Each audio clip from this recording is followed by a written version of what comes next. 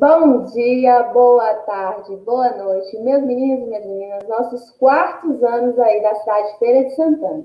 É com enorme alegria que a gente recebe vocês aqui no nosso canal para mais uma semana de muito, muito aprendizado. Hoje nós teremos aula de linguagem e continuaremos a falar sobre festas juninas. Vamos lá? O tema de hoje é os perigos na festa junina. Assim como as festas juninas trazem muitas coisas legais, como as comidas típicas, as danças, elas também oferecem alguns perigos, e é sobre eles que nós iremos falar hoje. E para a gente iniciar a aula, vamos aí falar um pouquinho mais sobre a festa junina com um vídeo. Vamos lá? Acabou o bloco. Ah, tá gravando? Desculpe então, porque hoje o caipirismo veio para uma festa junina para mostrar uma tradição da nossa região, que são os terços em louvor aos santos juninos, Santo Antônio, São Pedro e também São João. Vem comigo então que eu te mostro uma reportagem cheia de delícias juninas. Vamos lá? As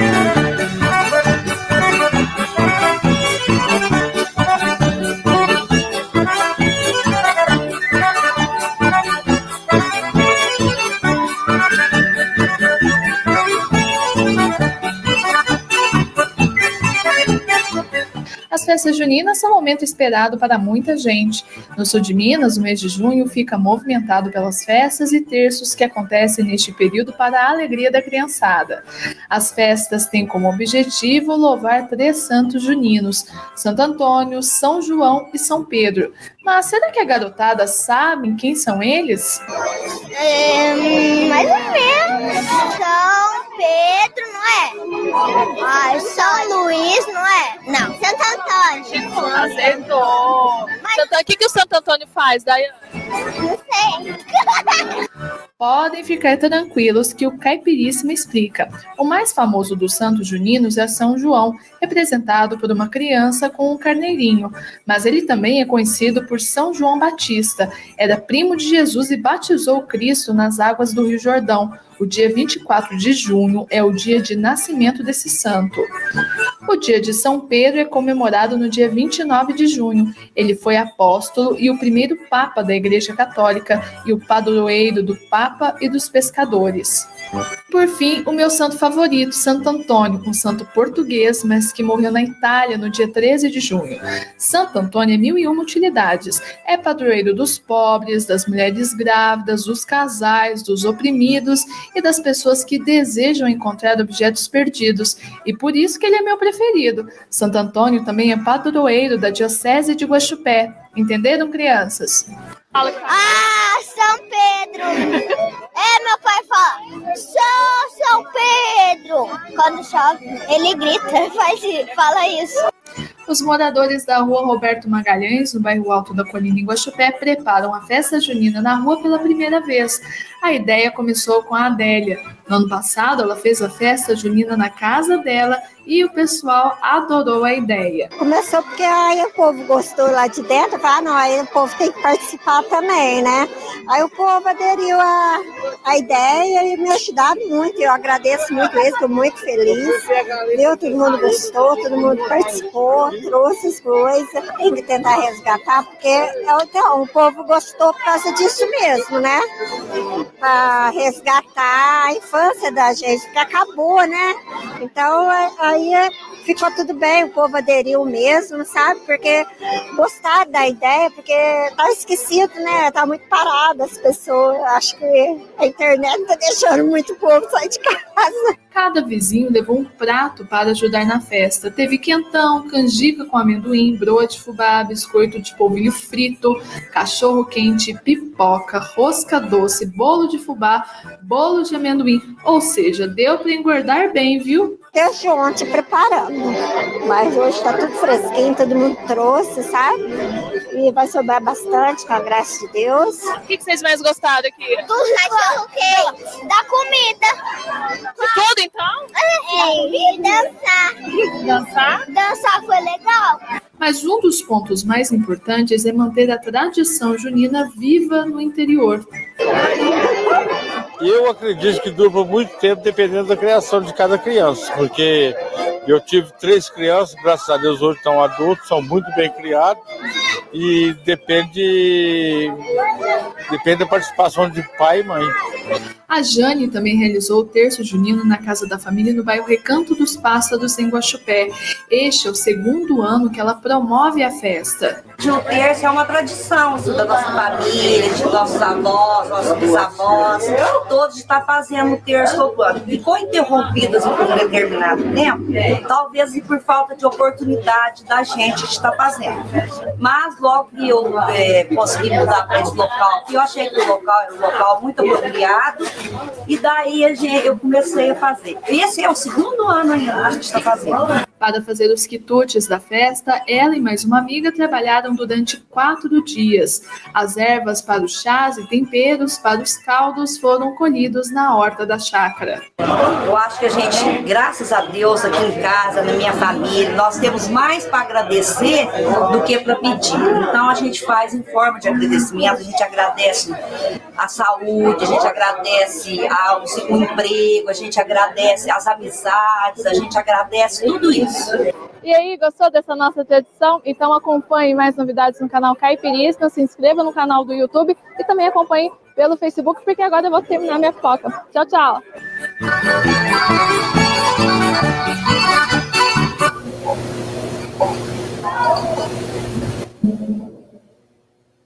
E é sobre isso que a gente continua falando. Nós vimos aí é, a, a, festa junina não, não só é, relacionada à nossa cultura, mas também ligada aí a um pouco da religiosidade.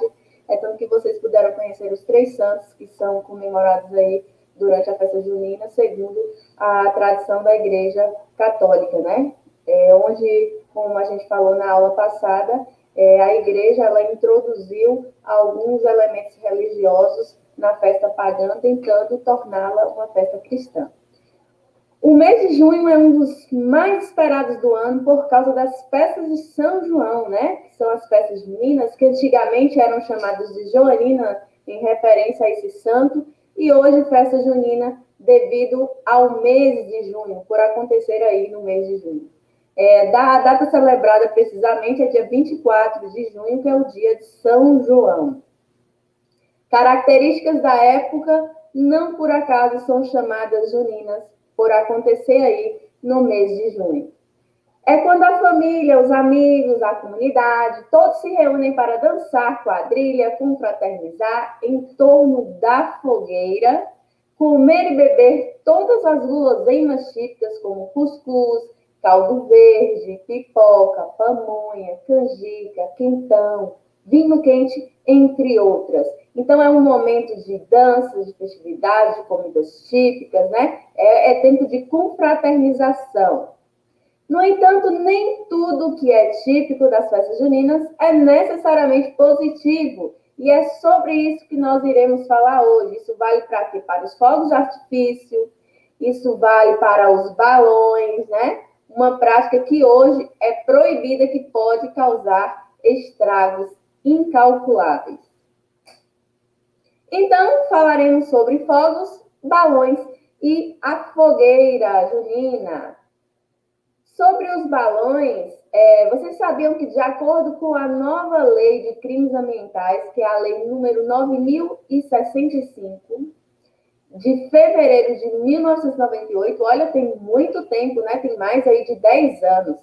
Não somente soltar balões agora é crime, como também fabricar, vender e transportar balões, né? Então, não somente quem é, solta balões está cometendo crime, mas quem está fabricando, quem está vendendo ou quem está transportando também pode ser penalizado. E a pena prevista é de um a três anos ou multa, ou ambas as penas, né? Cumulativamente, ou seja, a pessoa ela pode, além de ser preso, ela também pagar multa. Não solte balão. Ele pode causar muitos estragos e por isso ele é proibido. Mas por que, que a gente não pode soltar balões? Pronto. Por que, que é proibido balões? Já que era uma cultura que vinha se perpetuando há tanto tempo e de repente assim, retiraram os balões.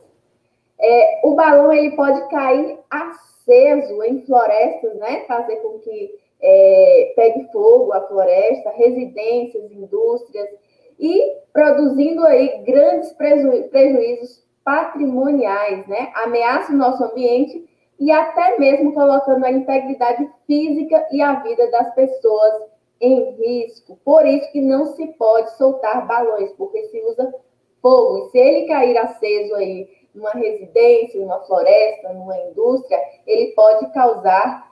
Pense aí, se um balão desse cai em um posto de gasolina, os estragos que ele pode causar aí, não só estragos, prejuízos patrimoniais, financeiros, mas também é um risco à integridade física, à vida do outro, né? A brincadeira de alguns, então, pode ser aí a tristeza de muitos. Entre os inúmeros contratempos que representam, os balões podem ainda oferecer sérios riscos à aviação, principalmente as pequenas aeronaves, né? E aí nós vamos ver aqui quais os riscos que esses balões eles podem oferecer às aeronaves. Perigos para a aviação, basicamente, seria, vamos pensar uma forma mais catastrófica, seria a colisão direta.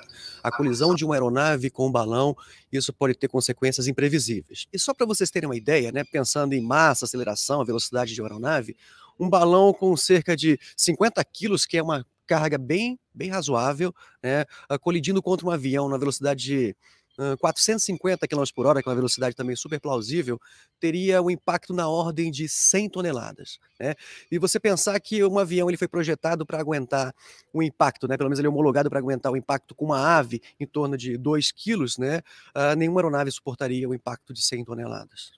Mas fora a colisão, a gente pode verificar como risco também o próprio desvio de uma aeronave para tentar evitar um balão, ou mesmo o atraso que pode ter, de repente, num, uh, num planejamento de escala de voo em virtude de uma arremetida, tudo em virtude do balão. Então, são consequências que, de repente, quem está soltando aquele balão não consegue perceber. Tenta visualizar apenas como uma forma lúdica, uma diversão, e não percebe que aquilo tem consequências que podem ser até catastróficas. Aí vocês viram, né, os riscos que essas aeronaves, principalmente as pequenas, né, elas sofrem caso entre aí em atrito, né, a um balão, né? E nós iremos falar também sobre os fogos de artifício, aqueles fogos lindos que a gente vê é, na noite de São João. Eles também podem oferecer muitos riscos é, à integridade, principalmente física, né? Acidentes com fogos de artifício podem causar queimaduras, amputação dos dedos e até da mão, além de lesão nos ouvidos se uma bombinha explodir próximo dos olhos, por exemplo, pode ainda causar cegueira. Os fogos de artifício também são bastante perigosos, né? E esses fogos, é, eles podem causar enormes acidentes. Em caso de acidentes, os bombeiros recomendam que as a pessoa procure por socorro, né? Enquanto não houver atendimento no hospital, deve-se cobrir a queimadura com pano limpo e ficar atento. Nunca fure as bolhas, elas servem para proteger a área da queimadura. Tem gente que costuma furar a bolha, né? É, não retire roupas grudadas, fragmentos de objetos ou graxas das lesões, que pode também aí piorar a situação. Não use pomada sem ordem médica e nem toque nas lesões com as mãos. Se houver sangramento, faça um curativo com gaze ou um pano bem limpo mas o ideal mesmo é que a gente cubra aí essa queimadura com um pano limpo, espere aí o atendimento é, médico né, do hospital. Cada tipo de produto pirotécnico tem uma classificação de acordo com seu poder e explosão de queima. Não é qualquer fogo, qualquer pessoa pode sair é, queimando, não, né? Então, nós temos as classes, né? Para que nível é cada tipo de, fogo, de, de fogos, né? E onde é, se pode realizar esse tipo de queima. Por exemplo, a classe A é uma classe infantil, crianças podem ter acesso, né? Pode ser vendido aí para crianças e a queima é livre, pode queimar em qualquer lugar. é, porém é recomendável aí a assistência de um adulto. Já a classe B, que é a classe juvenil, podem ser vendidos a menores também, mas é, a sua queima é proibida em terraços, em portas, janelas, que tenham proximidade aí com as vias públicas, né? Também sobre assistência de adultos. E a classe C, que é para adultos, crianças não podem ter acesso a esse tipo de material. A venda é proibida aí para menores de 18 anos. A classe D já é uma classe mais profissional.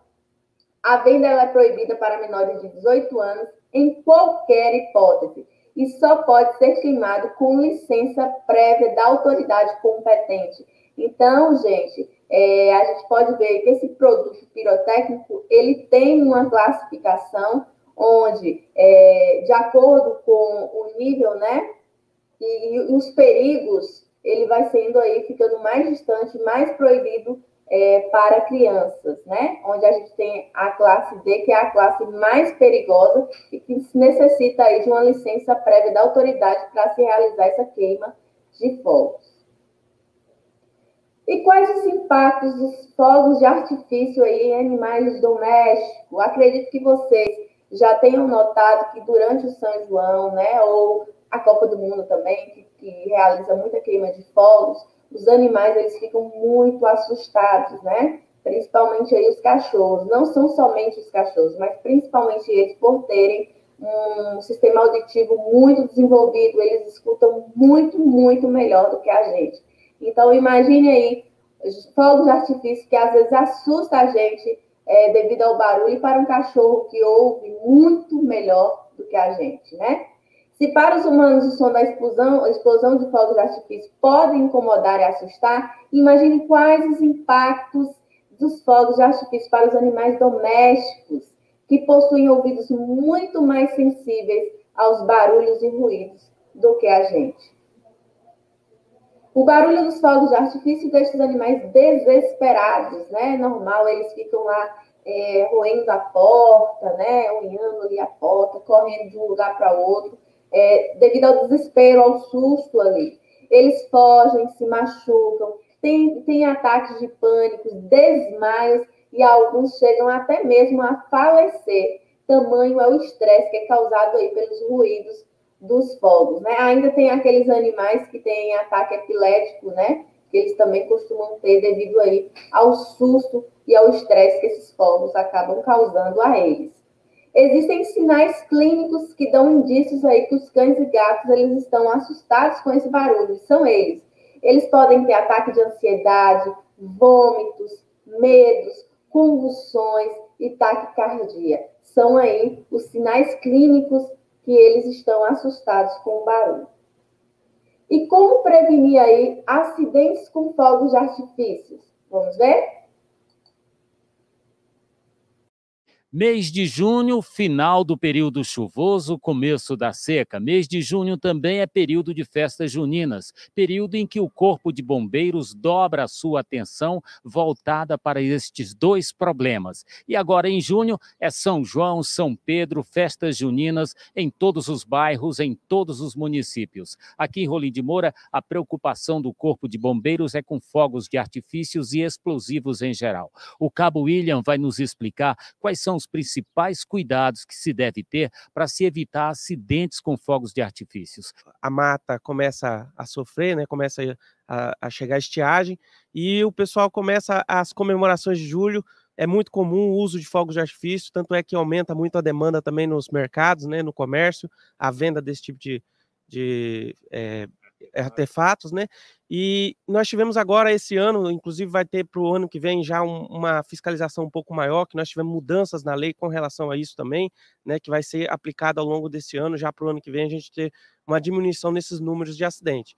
Né? Então a gente recomenda que seja observado é, o calibre desses artefatos, né? Eles têm recomendações de idade para cada, cada um deles, né? Que as pessoas que forem usar tenham um cuidado redobrado, porque acidentes acontecem e geralmente são muito graves, né? Então, o manuseio correto, o uso dos extensores, nunca utilizá-los diretamente sobre a mão, né? Riscando e, e, e soltando com, com a, utilizando a própria mão, sempre utilizar é, de meios que possam manter o mínimo de segurança possível, né? E o cuidado também com os terrenos, os locais onde foram soltar. Não é permitido o uso de fogos de artifício em locais de reunião de público, ou seja, naquela festa. Então você está lá comemorando ali, no meio do pessoal você vai fazer uso do, do, do artifício. Não, também não é permitido.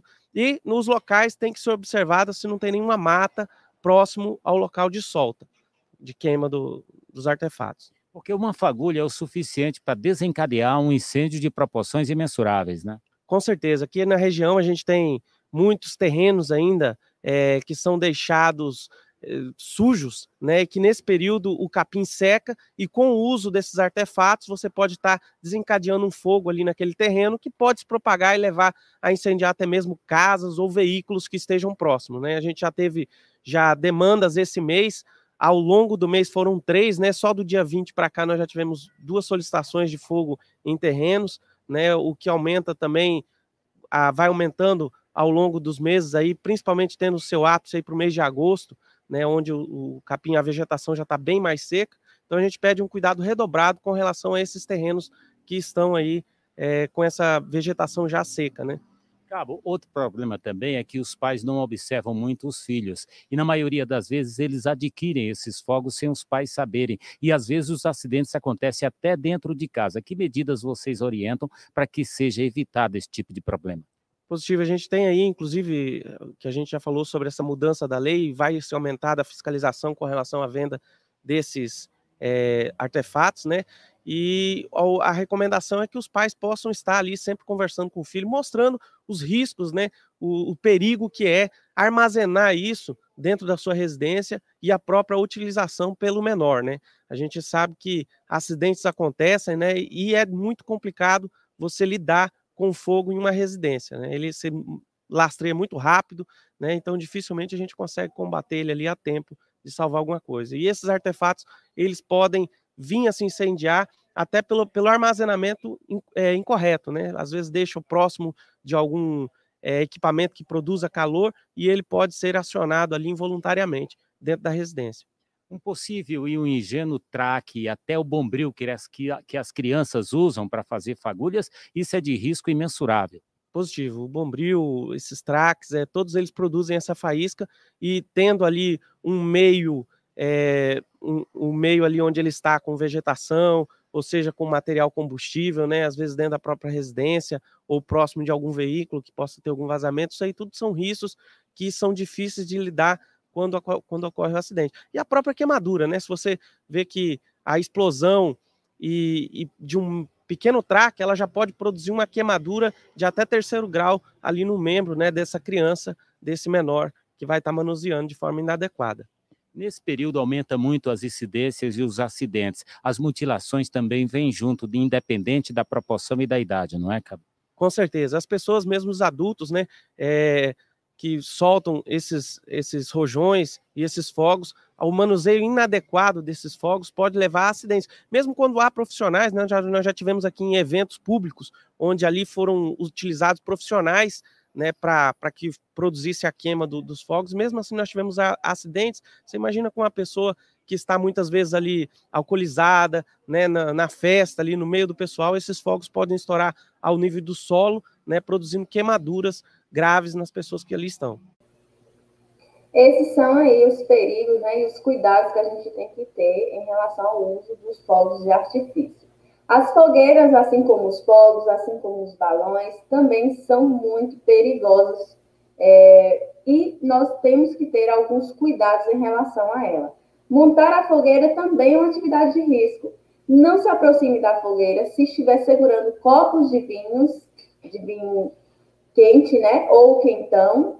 Como são inflamáveis, a proximidade das bebidas com as fogueiras também podem resultar em acidentes ao acender a fogueira também é muito perigoso. Nós temos aí o caso do prefeito de, Osga, de Osasco, né, Rogério Lins, que ele e a mulher tiveram é, queimaduras é, seríssimas devido à fogueira. Ao acender a fogueira, o fogo, as chamas atingiram ele e a esposa e eles tiveram é, queimaduras de terceiro grau, né?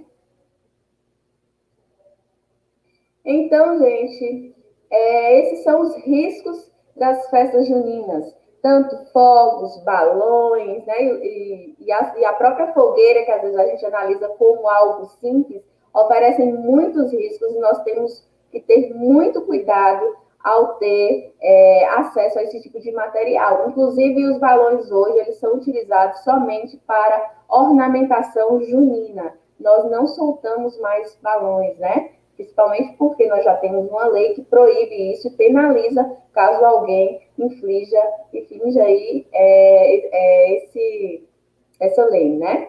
A nossa aula ela se encerra por aqui. Peguem o bloco de atividade de vocês, realizem essas atividades, cuidem desse material que ele deverá ser entregue à escola para que os professores possam avaliar vocês. É, e daqui a pouquinho a Pro volta com mais uma aula. Aproveite esse tempinho aí já para ir ao banheiro, tomar fazer aquele lanche, certo? Daqui a pouquinho a Pro volta com vocês. Beijinho no coração de cada um de vocês e até já. Tchau, tchau.